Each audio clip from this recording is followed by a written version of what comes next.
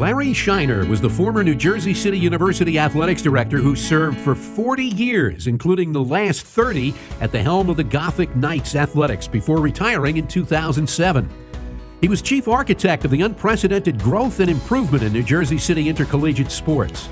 During his tenure, Schiner oversaw the development of the John J. Moore Athletics and Fitness Center, supervised the development of the Thomas M. Garrity Athletics Complex, initiated the athletic department's extensive community outreach projects and services program, and served with distinction on New Jersey Athletic Conference, Eastern College Athletic Conference, and National Collegiate Athletic Association committees.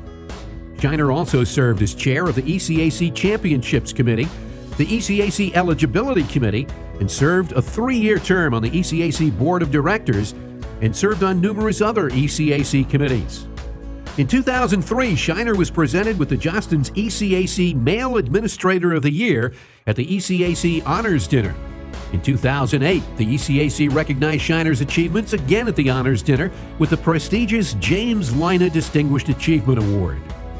During his nine seasons as head basketball coach, he became the winningest coach in the program's history with 133 wins. Two of his teams were selected to participate in the NCAA College Division Championship Tournament. Five of his Gothic Knights teams reached postseason play, and the 1973 and 74 squads claimed back to back New Jersey State College Athletic Conference titles. Schiner also a standout athlete at the University of Maine he is currently 13th on the Black Bears season rebounding list with 261 during his senior year, 1960 61. He's 12th on Maine's career rebounding list with 649 boards.